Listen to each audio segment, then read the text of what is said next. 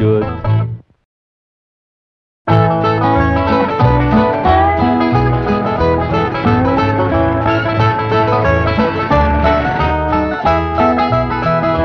Wonder how much money I ought to draw out. Don't forget, I need school supplies. And I need victuals for my critters. And I need victuals for you critters. I reckon I might as well draw out enough money to last us a month or two. Reckon ten dollars will do it. I never could sleep a wink with all that money in the house. I told you not to drive with that hangover.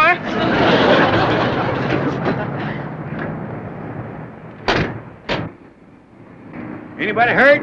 I don't think so. Well, no harm done, huh, kid? Well, not to your car, but you kind of bent our bumper. I reckon I can straighten it out, though.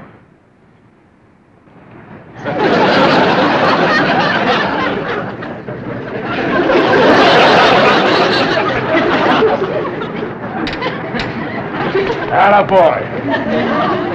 You going in the bank, old timer? Yes, sir. I was planning to. Well, come with me. They know me here. Maybe I can do you some good. I uh, hope you'll forgive my stupid husband. Had a bad day yesterday with the nags and he got stoned last night. So now he's got to borrow some money to pay off his bookie. What's a bookie? A little rat called Sam the Collector. Oh, Jim could only stay away from the horses. Your husband likes horses, does he? Loves them, especially losers.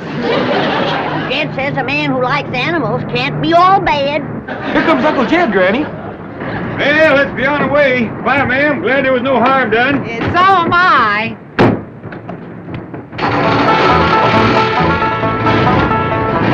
Hi.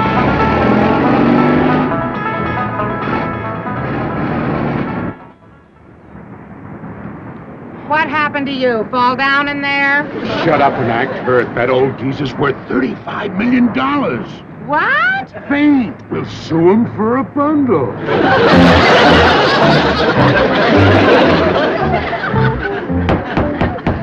Case of Johnson versus Clampett. Are the plaintiffs ready? We are, Your Honor. Are the defendants ready? Uh, Mr. Clampett, Yes, sir. please rise when addressing the court. Yes, sir. Your courtship. Your Honor. Oh, just call me Jed. Mr. Clampett, let me warn you that any attempt at humor will be dealt with severely. You're being sued for $100,000. Do you consider that funny? No, sir. Very well. Are you represented by counsel? Am I what? By who? You have an attorney? A lawyer. Oh, no, sir. I see. You're appearing in pro per. You any objections? Uh, no, Your Honor. Not hearing no objection, I'll permit your defense. Well, thank you, sir. Attorney for the plaintiffs will make his opening statement. Thank you, Your Honor. Although my clients, the Johnsons, are really in no condition to appear today, I have persuaded them to come to court so that Your Honor can see the carnage wreaked by this criminally careless family of hoodlums. Oh, excuse me, young feller, but our name ain't Hoodlum, it's Clampett. It's all except Granny, she's a Moses, and uh, Jethro, uh, he's a Bodine. He's my cousin Pearl's boy. Pearl's back home right now with Jethro and his sister trying to get her married. She's 18 and still single. That is enough. That's the way my cousin Pearl feels. A girl passes 18 and her chances of getting a husband. is- Mr. Clampett, will you please be quiet? Now, I'm going to excuse this outburst because apparently you're unfamiliar with court procedure. However, one more infraction and I will hold you in contempt. You be seated. Proceed, counsel. As I was saying, Your Honor, I have prevailed upon my clients to appear today, although at the cost of great personal suffering to themselves. Bailiff, if you please.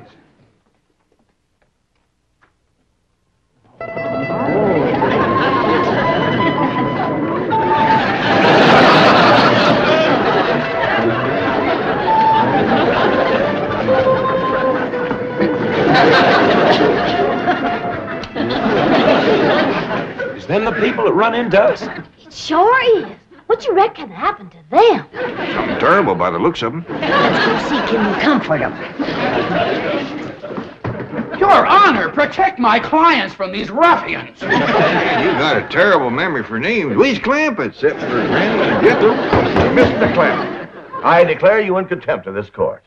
And I'm going to give you a fine of $100. Well, thank you, but I didn't do nothing to earn no hundred dollars. The fine of $100 is suspended. Now, please, take your seats.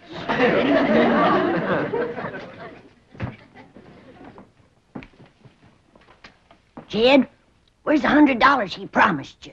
Didn't you hear him, Granny? The judge spended it. What right he got spending your hundred dollars? Order! Order in this court.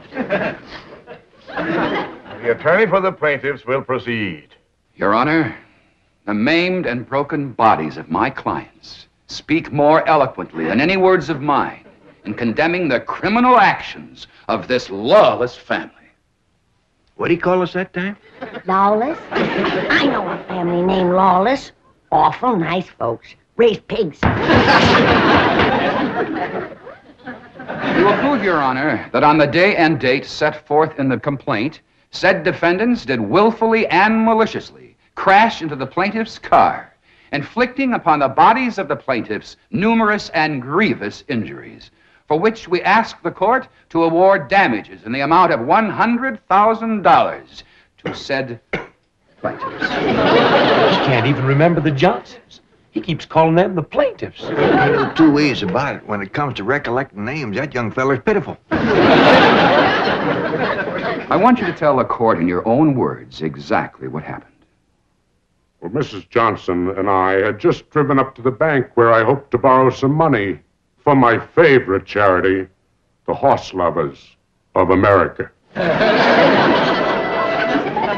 although we've been married for 20 years, Mrs. Johnson and I are still very affectionate. Proceed with your testimony, Mr. Johnson. Well, being affectionate as we are, we sat in the car for a few moments to speak of our love. I love you, Jim Johnson. I love you, Mabel. What other man would borrow the money to help those poor old horses on their way to the glue factory? I do what my heart tells me. Mabel! What is it, Angel? There's an old truck careening down the street out of control. Oh, Jim! He's heading straight for us! Well, have no fear. I'll protect you, darling. If that's the last I remember, Your Honor. Those monsters crashing into us in an alcoholic stupor. Come on, ah, please. Court is recessed for 10 minutes. Who you reckon smacked into them people like that? I don't know, but they was driving something called a stupor. What do we drive, Jethro? I ain't sure, but I, I think it's called a Stutz. Glad we wasn't there. We could have helped him. Excuse me, mister. How do you get to the playground? Playground? Oh, yes, sir. He just called recess.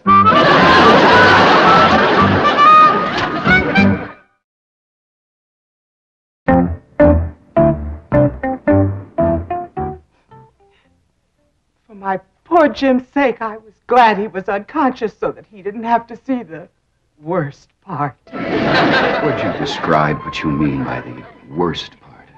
Well, you see, the impact threw my husband out of the car.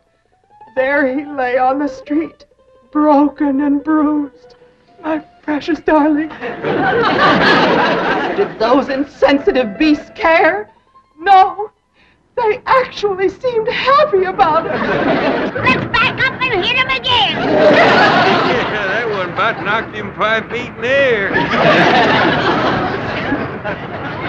Why don't you learn how to stay out of people's way? You brutes, look what you've done to my husband. I'll bring him around. If this don't bring him around, he's dead.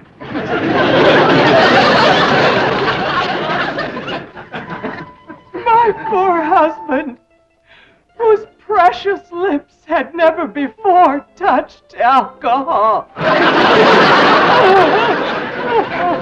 Your Honor, uh, please, sir, Mr. Judge. Yes, Mr. Clampett? Do you wish to question Mrs. Johnson? Oh, no, sir. That poor woman's been through trouble enough. I just want to say that me and my family here is right good at tracking and trailing and hunting. And we'd be right pleasured if you'd let us go out and hunt down them rascals that was so mean to the Johnsons. Mr. Clampett, do you expect the court to take those remarks seriously? Well, I reckon I did brag a little too strong on us, but uh, if we can't catch 'em, we got a hound dog named of Old Duke. He can follow a trail a month old. That's back again. Why, you just give old Duke the send. He can't Why, get after it. Is it possible that you people don't realize that you are the accused? What do you mean? You are the folks who caused these injuries to the Johnsons. Us? Who says so? They do. That's a dad blame lie. We wasn't even fighting. Bailiff, restrain these people. What do you mean? We're straight. What do you Now, now, wait a No, minute. you want to fight? You want to fight? Hey, we're straight. We're trouble. If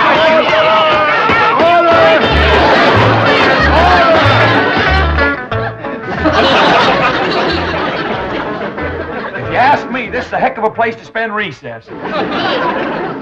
That fella said he put us in here to cool off. It's hotter in here than it is in there. Well, there's one good thing. He's going to give each one of us a hundred dollars. Fine. That's what I say. Fine and dandy.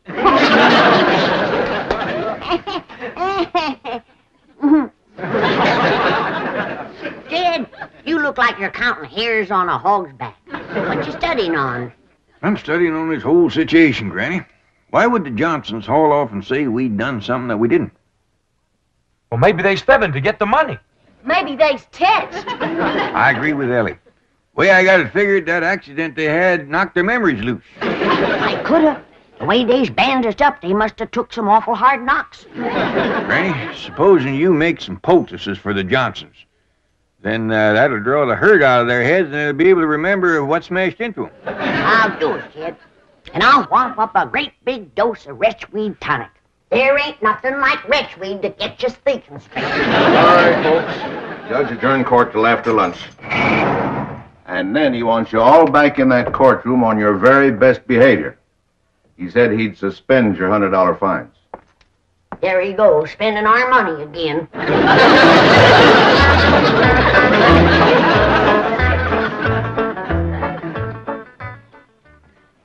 I'm going to ask the court for a judgment by default. Those hillbillies aren't coming back. They've probably left town. Hope we didn't keep you folks waiting. We hurried the best we could, didn't even stop to eat. For a piece over at our place. Clearly got a lot of fixing to do. And you're gonna feel a heap different when I get done with you. How dare you threaten my clients? Quieten down, little man. Ain't nobody threatening nobody. They're back, Your Honor. All rise.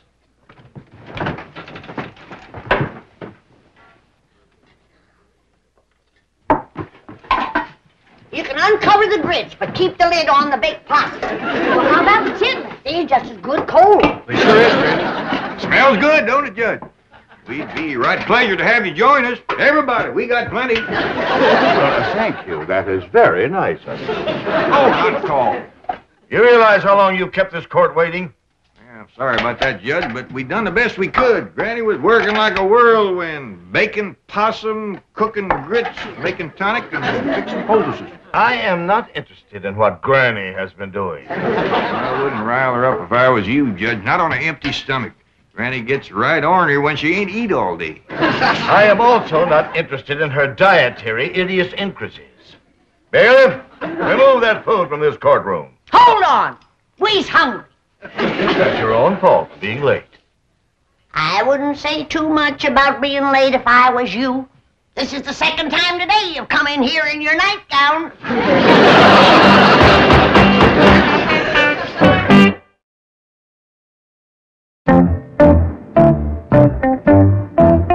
Uh, tell me, Jethro, do you like to drive that old truck? Oh, yes, sir. Do you like to drive fast? Oh, yes, sir, but I'm Just always... answer the question yes or no. And tell the truth. How do you like to drive fast? Why, yes, sir. Were you driving fast the day you crashed into the Johnson's car? Oh, no, sir. Well, Were you driving slowly when you crashed into their car? No, sir, uh, but that's I'm all, always... thank you. but Now I'm step al- down, please. Next witness. Granny, I understand that you make very good moonshine whiskey. I call it my rheumatism medicine. I see. But it is uh, quite uh, potent, uh, quite strong. Well, you don't want to stand too close to a fire when you uncork it. Yes, well, uh, now then, Granny, do you sometimes carry a jug of this rheumatism medicine around with you? Take it on trips, say? Only when I get my twinges. Well, were you having twinges the day you and your family crashed into the Johnsons? No, and we didn't. That's all. Thank you. now then, Ellie Mae, when the old truck here crashed into the Johnsons' car, would you show me just where you were sitting? Well, I was sitting right there, but we didn't. That's all. Thank you. Mr. Clampett, how many guns do you have in your home? Well, Granny's shotgun, and Jethro's lever action, my pistol, my squirrel rifle. Uh, you needn't go on, Mr. Clampett. That's uh, quite an arsenal you have. Thank you. You're used to carrying a gun, aren't you? I've been toting a squirrel rifle since I was knee high to a jackrabbit. And I understand you're quite a good shot. Back where I come from, if you didn't shoot good, you didn't eat. I see you shot only for food, Yes, sir. and you were very poor. Yes, sir. And then oil was discovered on your land, and you became very, very wealthy and moved to Beverly Hills. Yes, sir. But isn't it a fact, Mr. Clampett, that in spite of all your millions, you are still frequently seen carrying a gun? Yes, sir. You see, Granny... just answer the question yes or no. Do you, to this day, frequently carry a gun? Yes, sir. Were you carrying a gun the day you and your family crashed into the Johnsons? No, sir, and we didn't... That's all. Thank you. Step down. No, sir. What do you mean, no, sir? Ain't all, I ain't stepping down. Not until I've said a few things. Your Honor, I object. Now, Counselor, I have been very lenient with your conduct of this case, just as I have been very lenient with the conduct of the defendants. However, since Mr. Clampett here is the defendant and will bear the financial burden if judgment is against him, the court wishes to hear anything that is relevant and pertinent to this case. Yes, Your Honor. Now, Mr. Clampett, let us hear what you have to say. Well, Thank you. Well, to begin with, there ain't nobody told the real story about what happened the day the Johnsons backed into us. I object, Your Honor. There has not been one shred of evidence or testimony supporting the allegation that my clients backed into the defendants. That is very true, Counselor. Perhaps now we might have it. In the meantime, you be seated. Yes, Your Honor. Now, you may proceed, Mr. Clampett, realizing, of course, that you're still under oath to tell the truth. Well, Your Honor, I learned how to tell the truth so long ago, I reckon it's become a habit. And what with making a promise on the good book, I'm going to be extra careful. Proceed. Well, me and my family drove down to the bank.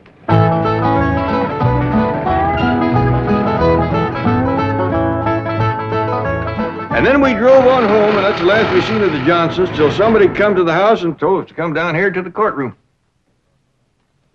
You may cross-examine. Well, that's quite a story you told, Mr. Clampett. Very simple and very sweet. Just the truth, like I promised. You're innocent of all these charges against you, aren't you? You've nothing to hide. That's right. Then why, Mr. Clampett, did you not answer the summons and complaint served upon you by the county marshal? Summons and complaint. That is right, complaint.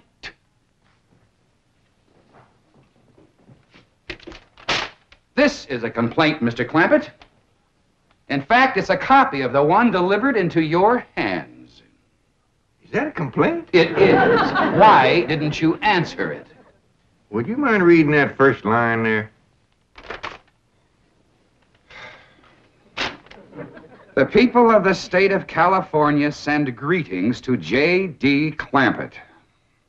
That just didn't seem like no complaint to us. and as for answering it, well, Jethro says uh, there's pertinent near 18 million people in California. We just couldn't hardly see how we could get around to greeting them all back. Any further questions? Not right now, Your Honor. Court will recess for 30 minutes, after which we'll hear final argument.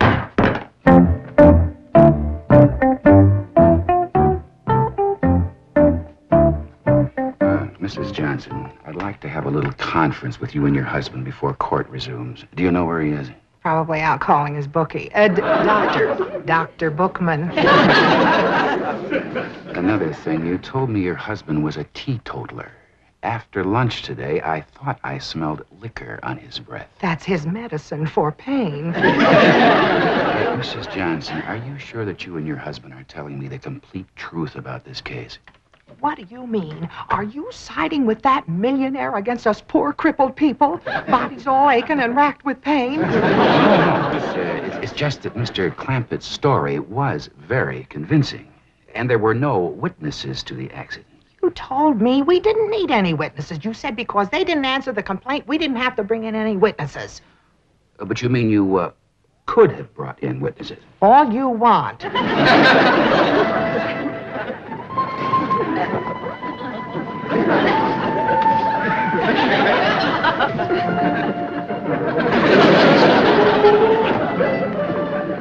All rise.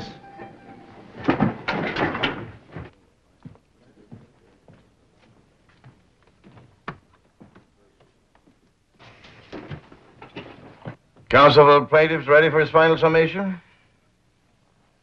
Uh, yes, yes, Your Honor. Uh, Your Honor, sir, uh, Mr. Judge, uh, could I say something that might save us all a lot of time? You any objections? Uh, no, no, Your Honor. Proceed, Mr. Clampett. Uh, well, sir, uh, if it's all right with you, I'd like to go ahead and uh, give that hundred thousand dollars to the Johnsons. Do you admit the claims made by the Johnsons? Well, no, sir, it don't. But uh, he deserves the money, and I can afford to give it to him more if he needs it. Would you mind telling the court why you think he deserves it? Well, Your Honor, I got a daughter here, Ellie Mae, and I reckon she means more to me than just about anything in the world. And during the recess, when uh, I seen Mr. Johnson with his daughter and seen how much he loved her, just like I do Ellie Mae, well, it kind of tore at my heart. What daughter? Shut up. there he was in his wheelchair in that little room across the hall, and in walked this beautiful girl with the long red hair, and I knowed right away she was his daughter because she walked up to him. She says, "How's it going, Daddy?" Judge, Your Honor, with no nurse to help him, that brave man got to his feet and stood there straight and tall so she wouldn't see he was suffering. Then he hugged her and he kissed her, and right then is where I found out she was a heap like my daughter, fond of critters. Because he said, Marcia, darling, when I get this hundred thousand, I'm going to take you to Mexico and we're going to watch the ponies run. You've taken up for that credit. Your Honor, these developments surprised me as they did you. I asked to be relieved from the case at once. Request granted. This court finds for the defendant. Bailiff, bring those plaintiffs back into this court immediately. They're to be held for perjury.